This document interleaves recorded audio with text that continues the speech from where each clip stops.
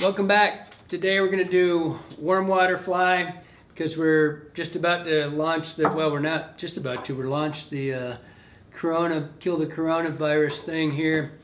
And the first uh, category was warm water top water. So I'm going to do, I had to dig all over to find one. I didn't have many left. This one's beat to hell. Uh, but it's a mouse that I've done a long time. Uh, I just, I did it, I think I started fishing this way back in Michigan time. And and a couple things, I mean, we're gonna go through, it's a super simple fly. It looks like hell now. It's all ratted out. There's a lot of stuff missing on it too, but uh, we're gonna, I'm gonna tie this kind of the way I did originally. I can't really remember the first one.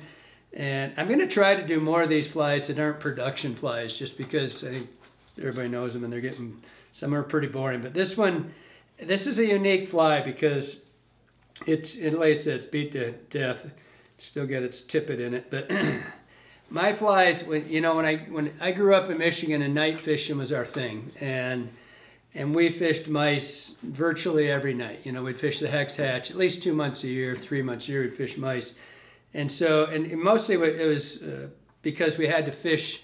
We'd fish spinner falls in the evening, especially for in the hex and the isonychias and the big bugs.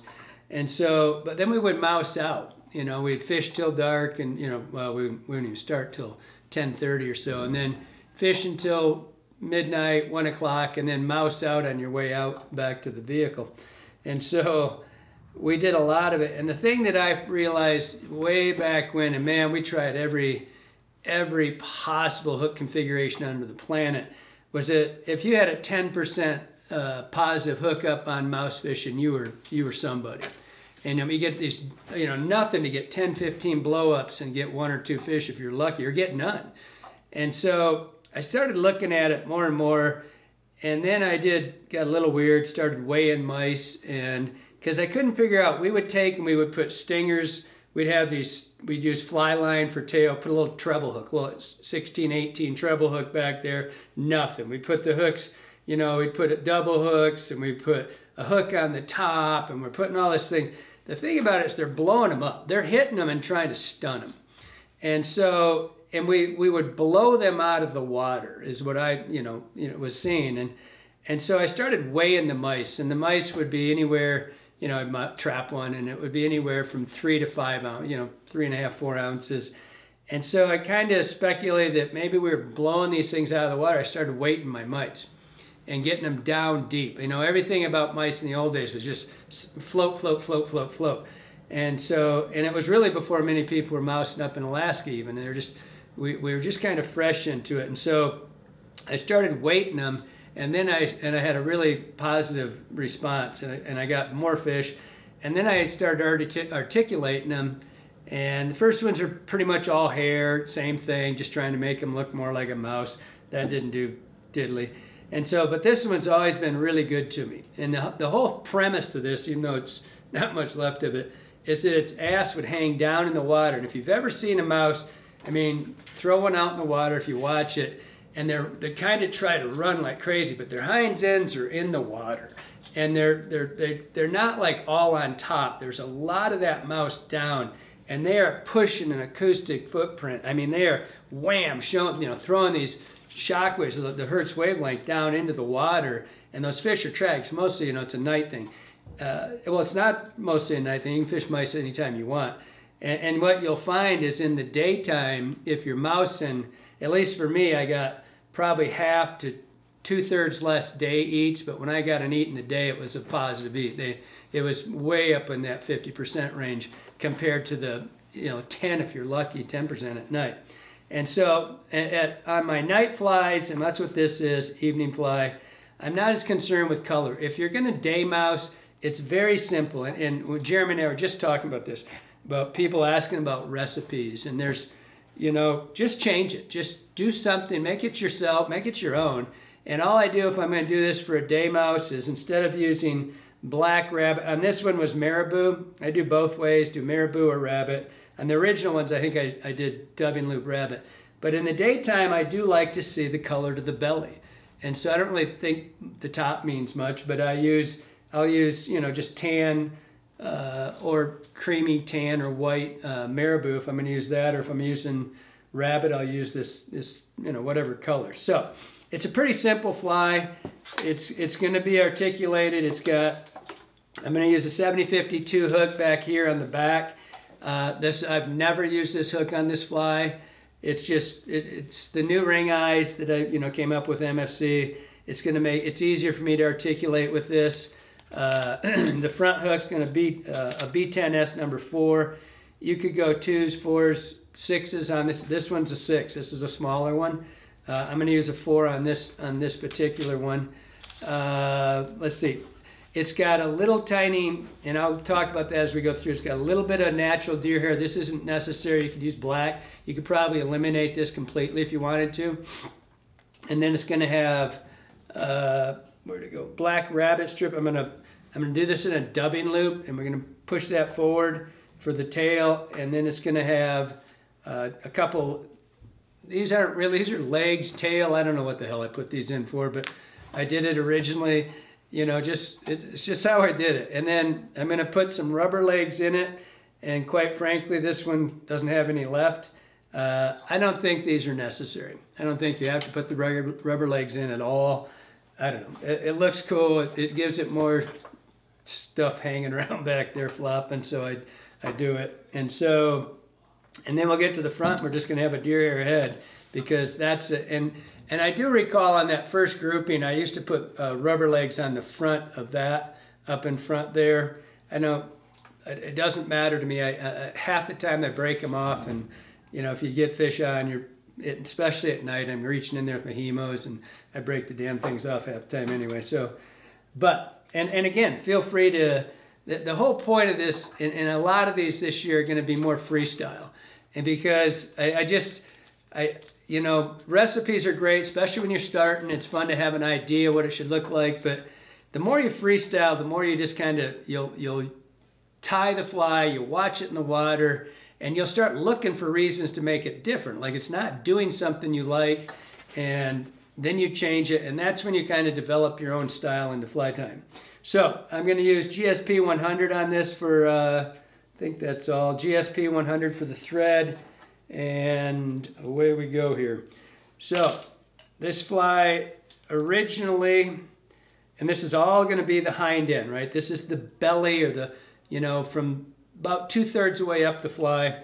And so I'm not real concerned with the head on this fly. It's going to be covered. And so in here, I wax my thread. And if you take a look at this, it's totally beat. I can't see it, but underneath here, there's a little bit of a little bit of deer here. Now, the whole idea of this fly is I want its hind end to sink in, right? But I still want it to, and you'll see, oh, I forgot one thing. I'm gonna have a flank on there. I forgot that when I was telling you. I want it to sink in, but I want its butt to go underwater, and I, I want it to almost sink the entire fly, but I don't want it, but I still want it to build a little bulk and have that tendency to try to ride up. Hence the fact that I put this deer hair in here and then I put the uh, flank feathers. I want it to be heavy and pushed down in the water, but I still want it to be on the surface because that's the cool thing about mousing is they blow the hell out of them. And so the first thing I'm going to put in here, whoops, is my little tails. I guess that's why I put these in in the first place was tails. I don't know. These are, I don't, this is just a, a, a Ewing saddle. Uh, these are, I, I, love these things. They're real versatile. I get all kinds of use out of them. And so, but it doesn't really matter. Any, I, I, used a lot of just uh, the, the stuff on the neck that I didn't use as much. I, I tried to find out, like there's some in there, you know, the, the very top of your neck, you know, up at the neck where it's really short and fine. I use those and use them up to the sweet spot. And I'd always end up with necks that had you know, the stuff right in that point where it's not big enough for a big hex and it's, I don't tie mini size 12 brown, I would use that stuff up. And so people are always asking me, what do you use for that? And I got to tell you, especially when I was younger, I found uses for everything I could. And so just because my hackles look like this, if you look at this one, those are dry fly hackles. That's a size 16 or 18 dry fly hackle that I just popped off the neck. I don't, these are bigger than that. I'm just gonna put them in here. I want two. I don't even know what I put those in for originally. I thought they looked cool probably. but feel free to eliminate. And I don't really care. I'm going to set these side by side right on top. And I'm not, it's just, it's going to be a tail, kind of. I don't care where they go, if they're, they're swinging around. it's going to go together and be a tail. I'm not really worried about this set. I'm just giving them there because I always did it.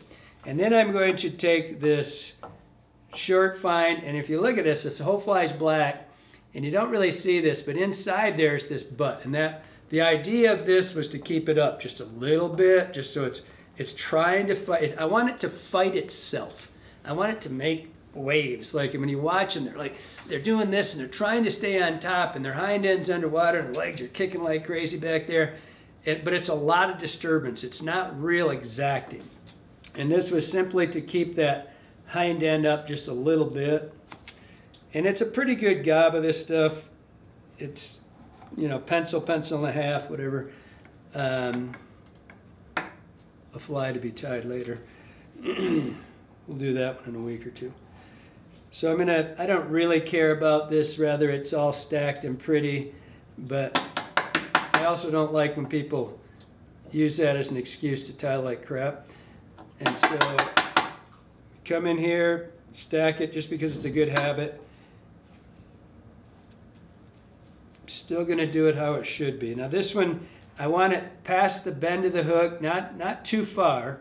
I want it to flare out and so it holds the fly's butt up a little bit and I actually am going to do it just like I would a collar or I was if I was going to do a uh, like an Elk hair caddis style head or something like that. So I'm just spinning that thread so it lays back over my hand. I'm going to come forward just a little bit. I've got a I've got a tight pinch wrap on right here so that the hair, I'm still going to do this. It slipped a little bit. So I'm still going to do this. It's, I'm holding it on top. I got two turns. I'm going to set it nice and tight right? And see, I've got my little deer hair head right there. It's nice and tight. I'm going to go through it with two turns. See, I don't destroy that head. And there I've got that bulky, and it's nice and tight. It's not going anywhere. Push it down. The whole idea of this is it's going to fight me. Now, because all dry flies should be weighted, well, maybe not all of them, I'm going to put about 15 turns, roughly, of 025 12, 13, 14, 15, right in that neighborhood. This is again not exacting. You know, if that scares you, you can leave it out. uh, the idea of this fly is that it's kind of down. I could have put that in first, but uh, I'm just going to build a little body over top of it. And all of this is going to go away in a second. So this is a good spot for you to practice your thread control. Just go back and forth. It's going to want to go set down into that lead. Bingo. Hey, where'd that go? Give me you. Now we're going to take, now I'm going to put a, this is, you can see it's a, it, if you, this is the old one here when I did it with Marabou. Marabou's fine, a little lighter. Uh, the, you, I can't overemphasize, I don't care. As long as it doesn't drag that fly underwater, you can't put enough weight on the signed end. It'll just, the further it sinks in, the more realistic that fly is going to be as far as putting out that, the kind of the, the wavelength that you're looking for. So just cover this up. Most of this is going to go away. It's again, this is a great time to practice your thread control. Get up here, and all this is going to get tied away. Now, I'm not positive, I kind of forgot right there. I'm not positive on my first ones if I put my legs back here or if I put the legs in the front. And I, because I do about a third half, no, it's about half. Half the time I forget to put the legs in, half the time I put them in. I believe I used to put them up here thinking that they would kind of move a little bit extra. So that's where we're going to go with them today. If you wanted to tie them in right here before you start this, that would be fine too. So they'd be sitting right here, right? And so they're just hang, we'll do it back. Well, uh, if I wasn't, if I didn't have that loop there already, I'd, put them in right here and you could see it, but not too hard to figure out. You can put them in right here. All these are supposed to be is the back legs. The one, I had two of these left over in my box when I was looking, and some of them, actually, some of them had the legs up on the front hook.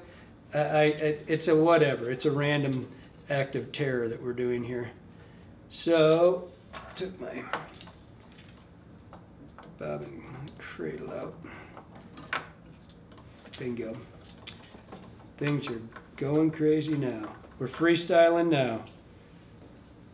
I was watching, I was telling Jeremy, I was watching this guy who's a, airbrush guy, and I was looking for something on the internet, and he, this guy was funny as all get out. He's a really good model guy, airbrusher. He said, sometimes you just have to use your brain and your hands at the same time. So you, you just kind of freelance. That's what he was saying. You got to figure it out. So you're gonna you're gonna use the same thing here. Now again, if this was a if this was a day mouse, right, and you're going to do it up, and, and you're going to go out in the daytime, you're simply going to change this. I think the belly color, at least I felt like it made a difference in the daytime.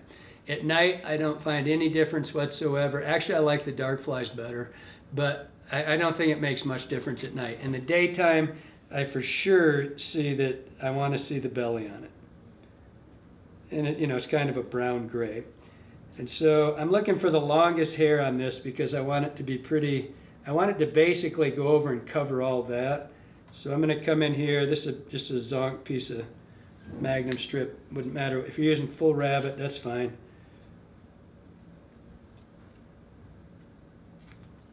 So I just, I cut that off the skin.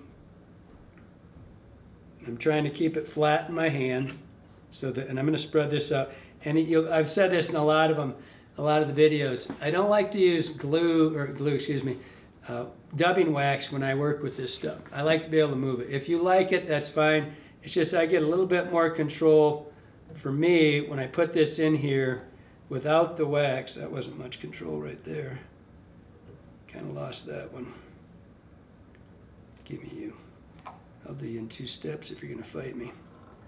That was fighting me, and I like to be able to spread this out you get used to it just moving it around. And I don't I don't need it to be super and heavy back here.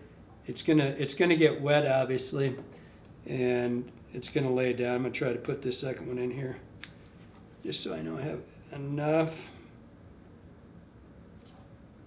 Just kind of spread that out in your hand a little bit before you go, and I can should be able to get this pretty close to open to not drop all of it. If I drop it all, it'll be give something people something to talk about.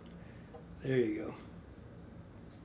So I can manipulate this just by loosening, I'm loosening the, the tension on my um, dubbing tool, just not pulling on the thread so tight. So all I'm doing is getting this basically the same length. The more you leave hanging out the little butt ends, the more bulk you'll build, the more it'll give you a little bit of fluff in that end, you know, it just kind of holds this other hair up. But then just, you don't, you're not going to need all this anyway. Just kind of arrange it so it's relatively close. Give it a slow turn. Just make sure everything's looking how you want it. And give it the spin. You're fine. Excuse me. So now I'm going to just kind of stroke that back so it's I don't care, I really don't care how this lays on here. It's just a bulk builder, but I still want it to lay back against the, the body so it's all, so what I'm trying to do is kind of cover all this up. Just keep stroking it back here. It's, this isn't a, it's fighting a little bit right there. If you're doing this with marabou, it's going to do the same thing. You're going to we're just filling this gap. That's all we're doing. You kick that black hair out of the back too. Sorry. So there's our, the body's nice and thick. And, but again, the, the reason, this is more, it's not so much about the actual bulk of the, it's the weight of the material. It's the, it's the weight of carrying this down. So sit here, and I wanted to kind of half-ass cover up the, the under fur, the, the hair here, but I don't. I mean, if you think about a mouse, I don't want it to go completely away, and that's that's why this tufts back here, that you know, they're shaped, they're they're fat asses. They go down like this, right? And they're swimming. There's their heads get really skinny looking. There's hardly anything to them, and then they've got a they get a fat hind end, and so they're gonna go. And that's what I'm trying to do with this, and that's gonna be the fight. And so I'm gonna put a couple rubber legs in here. I don't really care if you put these in. Uh, this is, I, I don't think they make much. And again, back here, up front, whatever you like. I, I, I think uh, at least a half of mine, I don't put them in. So what I'm going to do right now is I'm going to come across here, and I want you to see how little, I have no pressure on this thread right now.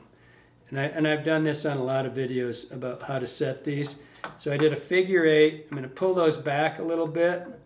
See how they're back there? I have two I went right to left, left to right. I did a figure eight. On top of this, I know you might be able to see it. There should be an X on top of that. Can you see that, Jeremy? A Maybe little a little bit. There's an X. It went from right to left, so it went from the front to the back, came under the back to the front, and I made a figure eight. And I don't have any pressure on that thread. Now I go one, two, and I tighten the second one. Now my legs are right on top where they belong and I can, I didn't fight them. Again, don't want them, don't put them in. And then so, I get those in a second. I still got to put my flanks on. And so now I'm going to put a pair of flanks on here. It's a good place to burn up some, you, you don't have, it's not like a zoo cougar or something like that where you need really good flank feathers so that the, the tracks out. This is more about wobble. And this is a good place. If you got some compromise feather, perfect. It, it's, it's, you just weighted the damn thing. you're, you're just trying to, all this is to do is to make that cup and keep it, and make it do kind of like wobbling, right? And so it just keeps it there on the top. End of the day, Java. They don't usually let me drink coffee. That's not always real, you know. It's more fun to watch shake. Yeah, Jeremy says it's fun to watch me shake, and I talk too much as it is, so it, it helps the, uh, it helps keep things going for me. Now, I'm going to lay both these right on top. I'm going to, if I can, I'm to keep them right on top here. I've got a, I, I've put three or four pinches on here.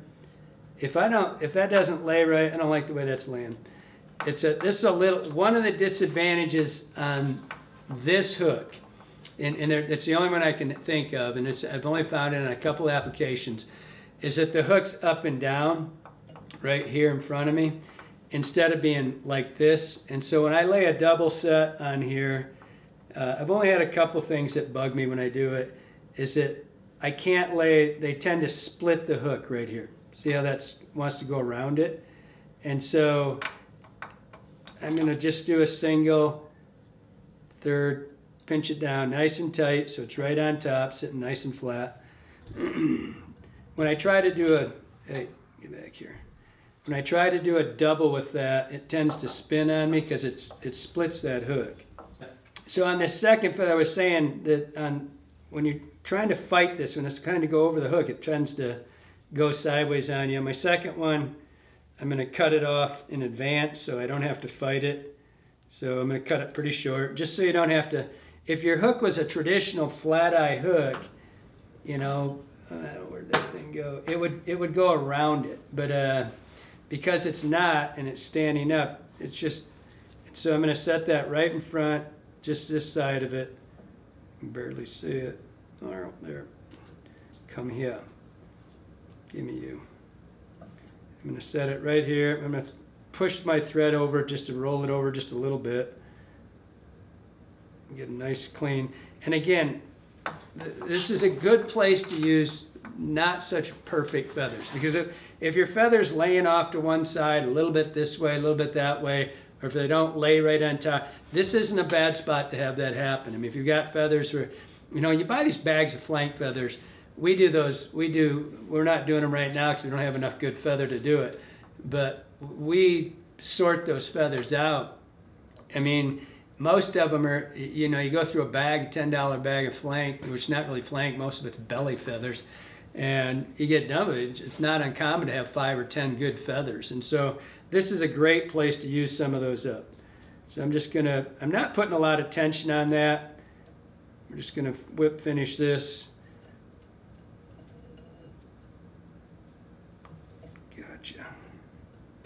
Wouldn't hurt to give it a shot of glue right there. Now, what happened to that? I think I, there it is. So this is the B10S. I'm gonna move this forward.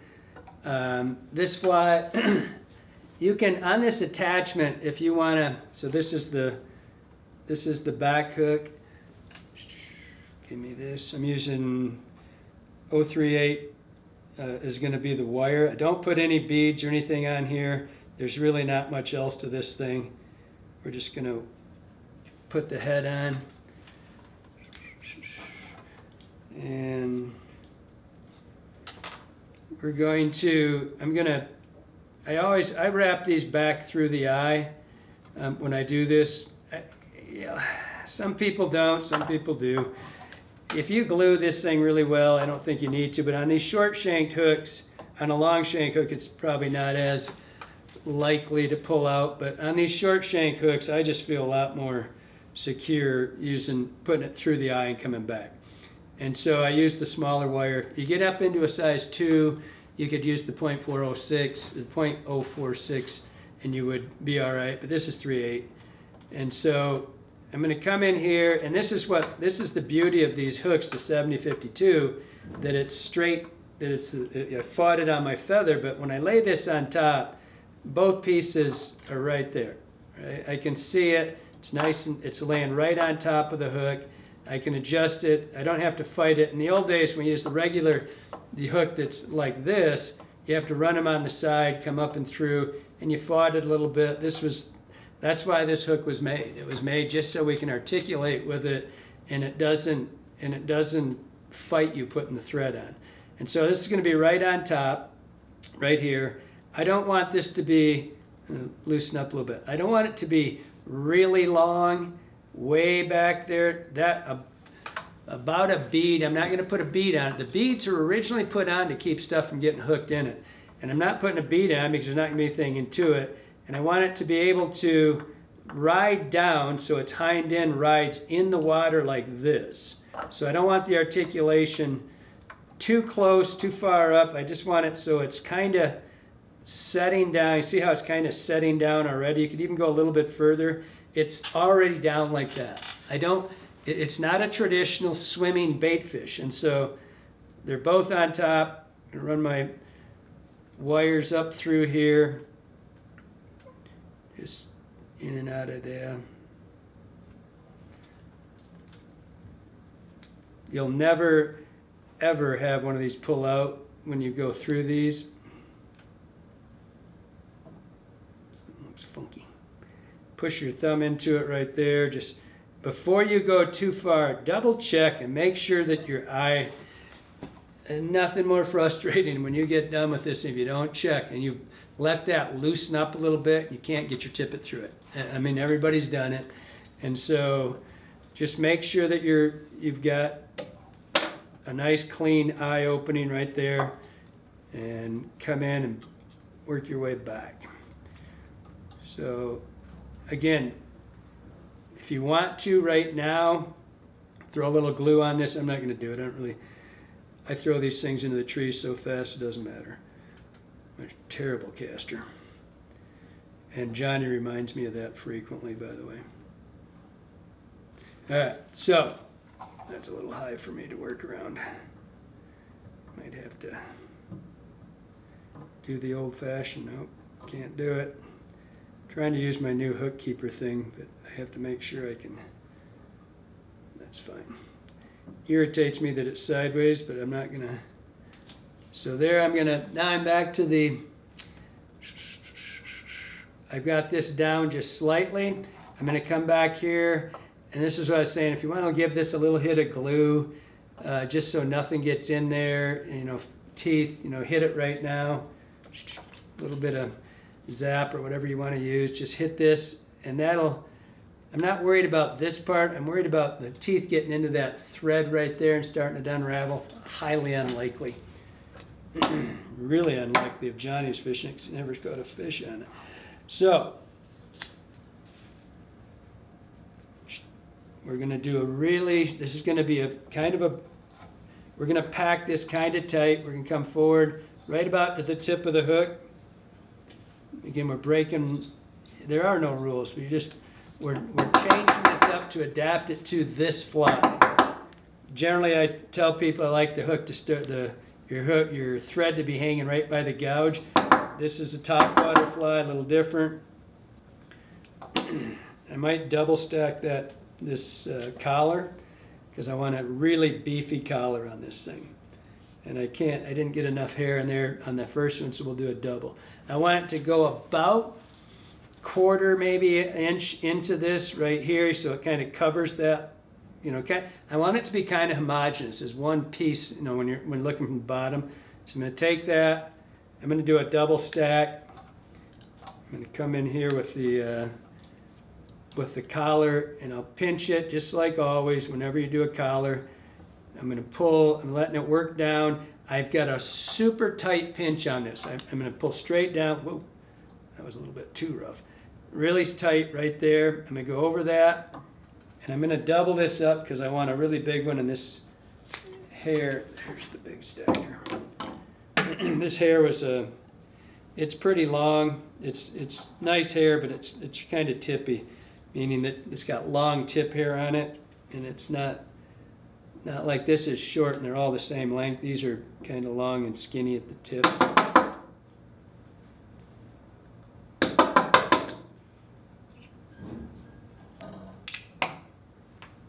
Lots of hair. So now I'm going to put a second one right over top of it, just to will all go away. So I'm just letting that work down. I still got a nice tight pinch. Second one right over top of it. Go right through that. We're trying to settle that in. I got, I'm pulling really hard. I'm holding on to the hook so it doesn't look like it, but if, I'm pulling really hard on that hair. Just the first, the one before that, I pulled so hard I busted it, so I just let, let I just moved it forward. I tied it right back in the same way. so I want that super tight. And now, look it over right now. If it, if there's not enough hair, when you look underneath it, if there's not enough hair, it goes back about a quarter inch. So it, you don't want it to look like two different segments. I mean, I guess it wouldn't matter, it's, you know, but for your own eye. And so now we're just gonna go forward, trim this thing out. We're gonna, I'll stack, or I mean, I'll spin these up. This is good hair. It's not, and you know, I've re, that's all I've got out of three stacks on this. So it's not, there's not a lot of underfur in here, but that's the crap that keeps you from spinning. So make sure you clean these things out well. I like to trim my tips off when I do this. So whenever we're spinning deer hair, we're gonna come in here and we're gonna try to, we're gonna start with this whole stack of hair, right? And boy, I got a lot of static going, it's just sticking to me. So I'm gonna come in here and I'm gonna come around it and I'm gonna what I'm trying to do right now, so you can see it really easily in this, in this uh, black on white with the thread, I'm letting the hair, as I pull down, I go one, two, and I'm making sure, I'm sure this would go out of focus if I, if I pointed at Jeremy, but I got this GABA hair on top and I'm letting it, it's halfway around the hook right now, so that thing's in the middle of the hook, right? And now I don't really have, so I can just go. It, it does there. If you let it if you let it work around the hook, starts on top, filters all the way around it, it's halfway through, I'm spun nice and tight. Work it forward. On this, on most of my stuff, I don't stack real tight. This one doesn't have to be super tight, but I'm gonna, I pushed it back a little bit. Now we're just gonna do two or three more. You can almost hear that hair, it's nice and coarse. Same thing. Come in, come around the backside, let it work. Second one, let it work around the hook. See how it's going down? It's it's halfway around it now. I just there. It, it's nice and tight. Give it a pack. You know, this stuff about having to have a clean shank to spin hair on. it, it, it does make a difference in some applications, not many if you do it right, but if you let this hair work around that hook, you can see I'm working on four strands of wire, right? And so I'm not on that clean hook, but I'm having no problem spinning the hair because basically you're not really spinning it so much on this style when you do multiples like this. You're just, you're letting it work around the hook and you're basically just tightening it down so they flare, they start like flat and then you tighten that thread and then like the tips of the scissors, you tighten and it forces it into a 45 degree angle as long as it's built around the hook, it doesn't matter if you spin it or not. So last one, come in here, one turn, see how as that thread disappears, you can see it's white, now it's kind of gone away. Come in and grab it again, let it work around the hook. I spin it, it does, I don't even spin, I pull it. You know, and, and a lot of my videos I say do two and a half. That's a kind of a starter kit. You know, when you first start, it's a security blanket but where I did, I let it work all the way around the hook. I pulled nice and tight and it spun a little bit, but not much. I'm just tighten that down.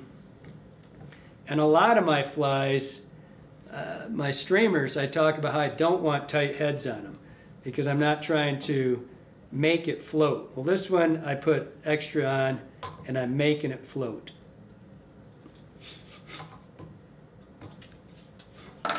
Okay, so where is everything? Things have gone amuck here. Now we're down to the final stage of this thing. We got stuff hanging everywhere. It's beautiful. So we're going to come in here, and this is a, the same as most of them. I'm going to come in, I'm going to make a flat cut because I, this is going to be your flotation right there. That's what's going to keep this thing right forward. And you can do this in a lot of ways. You, you know, this is this is designed, I'm gonna kind of trim it down pointy so the mouse's nose is pointy. If you wanted this to keep it flat, it'll wobble a little bit more, right? Most of what I did with this one was to, mostly this is a lake mouse a lot of times, or usually when I'm mousing it's kind of soft water. And so, you know, in a night thing, you're listening to it. And so I, I pull them and I let them rest. And I pull them, they eat those things on the on the pauses a lot. And you'll, you know, sometimes it's, a, especially on lake fishing at night, you'll just sit there and sit there. You can sit there for 30 seconds or more, and then they blow it up. And so, but it depends on how you want your head to, I'm gonna keep it kind of big uh, in the back here. I'm gonna come forward just, and this is totally personal. And I, it doesn't matter how much I leave right there. This is just bulk I do want this head, I want this head to float. I, I want, I grease the hell out of the head. I don't do anything to the back. I just let it sink down. So I'm gonna come through here. I'm gonna trim it down just a little bit more. And you can do this as a, you can do it as a wedge if you wanna pop it a little bit, you know, if you wanna do a slider style, like a Dahlberg. Okay. A little bit flatter. Give me you. Get off of there. So then I'm going to take it, where to go with those scissors? So it's just kind of a, kind of like a, just like a sculpin head to start with. And then I'm going to come over top of it and trim it out. I like to trim and, you know, I think most people trim in the hand like this is uh, just so you can see. I like to look over top of my stuff, so I'm looking over top of it. And then I'm going to point its nose down just a little bit. So it's getting more conical here. And getting a little off balanced on that thing. So I'm coming down. All I'm doing is looking to see that I'm kind of, I don't think any of this would matter at night. I mean, it's really more of a, it's more of a water push than it is anything, but the head's kind of big. And I'll finish it out. I'll finish it with the blade. Just come in here and kind of, it's getting kind of off balanced on me. Right there. I'm not going to do much more than that right now. That looks good, but so you can see what it is from the bottom, this hair, and I, I'm still gonna trim that off just a little bit right there, just so it's, you can see there's some of the, Bring it down a little bit. oops, There you go. there's some of the, the course, this, just so, just for me, I'm gonna do it for fun. But you wouldn't have to, but it's right there. But from the bottom side, you see this is already hanging down. This little bulk in here of that rabbit's really heavy. I mean, with, rabbit gets wet and it holds water, and I've already weighted it. You can see underneath it is this little tail that keeps it kind of fat butted, so when it's down in the water, and the idea of this fly is that it rides, is that the best Yep. view? That it rides down kind of half like this, and it's going back and forth. So I got the flank on there that keeps it kind of not being able to completely sink and wobbling back and forth. And then it's this, you could trim these legs off a little bit if you wanted to. So they're just back there in the kicker zone, right there. And again, I don't really think that means diddly squat. So there's the overall, you know, when you're looking from the bottom, the profile is going to kind of come down. This is fat on the hind end, and it's hanging down the water. Not your traditional mouse pattern, just a, it's kind of the, I don't know, it was uh, just something, and I'm, and again, I would trim this down just a little bit. You can see where's that OG. This one's a little bit smaller. Doesn't matter. It's that's just all that's to do is to keep it coming forward, shape it. You know, if you want to shape it more nosy, I've seen done them like this and flatten them out. It's just moving water. That's what it's going to do. But it's been a super effective fly for me. Uh, hope everybody's having a great time tying up. Man, we got some spectacular topwater stuff in this week. Uh, been really cool. So that's why we're doing this kind of topwater stuff right here. And so keep those uh, flies coming, man. We're getting, we've had, we got two today that were just pretty spectacular. It's pretty fun to see. Seeing a lot of neat stuff, getting a lot of good kid stuff in, because there's a youth division. That's been pretty fun too. So keep them coming. Hope you liked it. Hope it helps you out.